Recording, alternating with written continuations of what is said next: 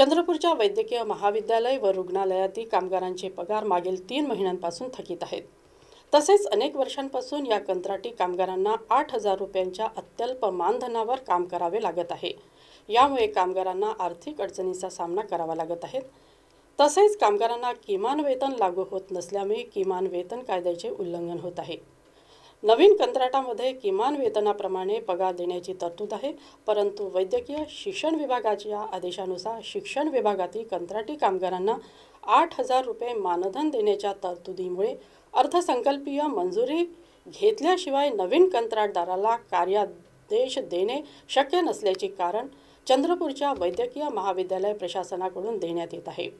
याबाबत जनविकास असंघटित कामगार कर्मचारी संघाचे संस्थापक अध्यक्ष पप्पू देशमुख यांनी मुंबई येथे मंत्रालयामध्ये वैद्यकीय शिक्षण मंत्री गिरीश महाजन अर्थमंत्री सुधीर मुनगंटीवार व कामगार मंत्री संभाजी पाटील निलंगेकर तसेच कामगार विभागाचे प्रधान सचिव राजेश कुमार यांची भेट घेऊन त्यांना निवेदन दिले व सविस्तर चर्चा केली. चंद्रपूरच्या शासकीय वैद्यकीय महाविद्यालय व रुग्णालयातील अंदाजे चारशे कामगारांचे वेतन मागच्या दोन महिन्यापासून तीन महिन्यापासून थकीत आहे. वारंवार अशा प्रकारे शासनाच्या विविध विभागामध्ये कंत्राटी पद्धतीनं काम करणारे जे कामगार आहेत ते सार्वजनिक आरोग्य विभाग असो की वैद्यकीय शिक्षण मंत्रालय असो किंवा अदर इतर कोणते विभाग असो या ठिकाणी कंत्राटी कामगारांना एकतर किमान वेतन मिळत नाही आणि मग त्यांचे पगारही वारंवार थकीत राहतात तीन तीन चार चार महिने थकीत राहतात. अत्यल्प पैसे मिळणं पगार मिळणाऱ्या या लोकांच्या उपजीविकेचा प्रश्न त्याच्यामुळे निर्माण झालेला आहे. आणि दुसरीकडे वैद्यकीय शिक्षण मंत्रालयाचा एक जो जी आर आहे त्याच्यानुसार या ठिकाणी काम करणाऱ्या सफाई कर्मचाऱ्यांना केवळ आठ हजार रुपयाचं मानधन देण्याचा एक जी आर निघालेला आहे.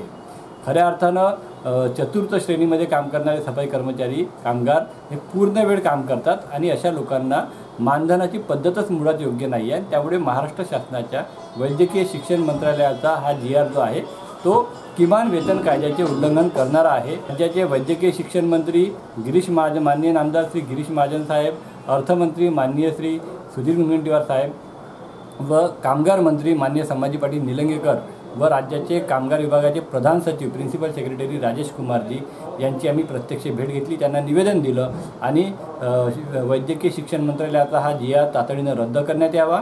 सर्वांना किमान वेतन लागू करण्यात यावे व नियमित व नियमानुसार वेतन देण्यात यावे अशी मागणी केली. या संदर्भात जर योग्य निर्णय घेण्यात आला नाही तर पुढे जनविकास असंघटित कामगार कर्मचारी संघातर्फे राज्य पातळीवर एक मोठं आंदोलन आम्ही छेडणार आहोत असा इशारा आम्ही त्या ठिकाणी दिलेला आहे.